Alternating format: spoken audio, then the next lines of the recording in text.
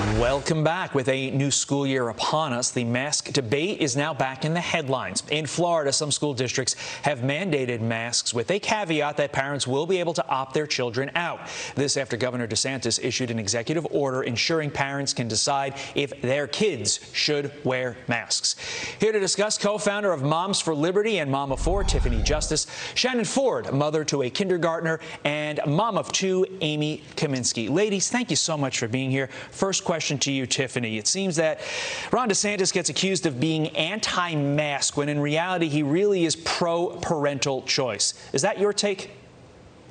Absolutely. Um, you know, Ron DeSantis realizes that we want to partner with our children's schools, but we don't co parent with the government. So we see forced masking as a direct attack on parental rights, and we believe that parents are the best expert for their own child. We trust parents to make the choice as to whether or not to mask their children in school, and we're thankful that Ron DeSantis had our backs. Shannon, with that said, there is a mask mandate in Broward County without a parental opt out. It should be noted that tomorrow there's going to be a Board of Education meeting to discuss this. this has gone back and forth over the last week. Specifically to your child, what does wearing a mask mean for your child?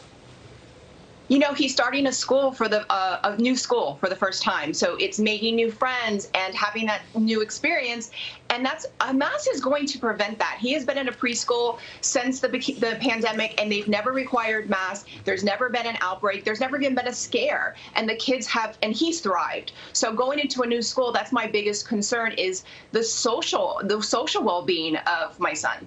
Let's look at COVID-19 vaccination rate among the 12 to 15 year olds in our country. 39.8 have the first dose, 29.1 are fully vaccinated. Amy, your two children are fully vaccinated, but that was your family's choice. How concerning is it, though, that a governmental entity could be telling you how to parent?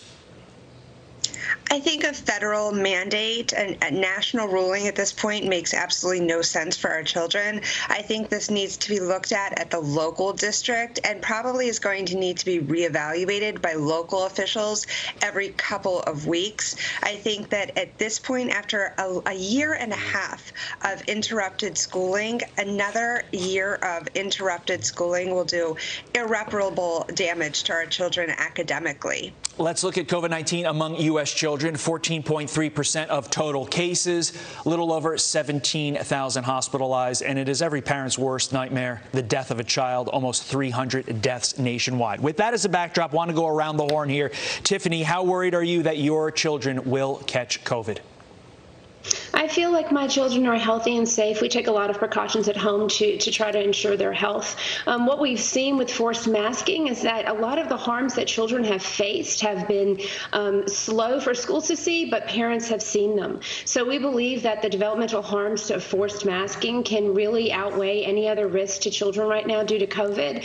And um, again, we're just thankful that parents are going to have the choice as to whether or not to mask their kids. Shannon, same question to you. How worried are you that your child will catch COVID? I'm not worried that it'll catch COVID. Um, we know the data. The data speaks that the virus does not affect children like it affects older Americans or older individuals. So I'm not worried that he catches it. Obviously, we take all precautions, but I make sure that we keep his immune system up, and so that if he does, if and when he does catch it, that he can fight it and recover very easily. Amy, take us home. How worried are you your kids are going to catch it? I worry about everything. And um, I, I do worry and I don't. I vaccinated my children. I have 100% confidence in that vaccine. At the same time, they'll be wearing a mask to school this year until we're 100% in the clear. I worry more about their academics at this point and, and their success in school. Yeah, Liz, that's definitely an argument. A lot of people are saying, like, look, if faced between the mask and Zoom, I'm choosing the mask because we can't do Zoom again. But this is definitely an issue with so many layers. It's going to be interesting to see how the school year plays out. Tiffany, Shannon, and Amy, thanks for getting up with us. Best of luck to your kids this upcoming year. Jillian. I also worry about everything. So yeah,